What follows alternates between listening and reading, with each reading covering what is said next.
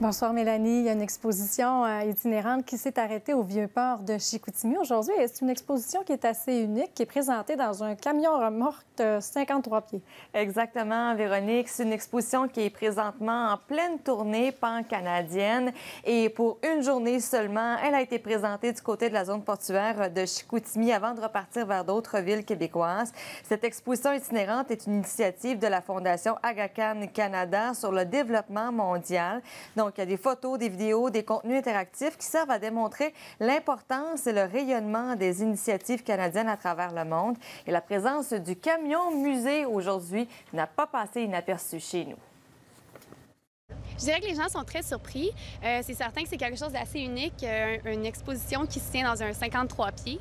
Donc, euh, lorsque les gens rentrent dans le camion, ils sont très surpris, puis très impressionnés de voir aussi qu'est-ce qui se retrouve. Stéphanie, à l'intérieur, vous présentez une exposition sur le développement mondial. Qu'est-ce que vous présentez exactement? En fait, on donne la chance aux gens d'apprendre davantage sur les différents programmes qui sont faits à travers le monde grâce à la contribution des Canadiens. Donc, il va y avoir plusieurs informations sur différents projets qui ont été faits dans le passé qui sont faites en ce moment ou qui vont être faites dans le Donc, ça permet aux gens d'être plus sensibles euh, en ce qui a trait à la cause du développement euh, mondial. Et on tente aussi de donner la chance aux gens d'être peut-être inspirés à prendre action euh, dans cette magnifique cause-là et peut-être d'apprendre davantage.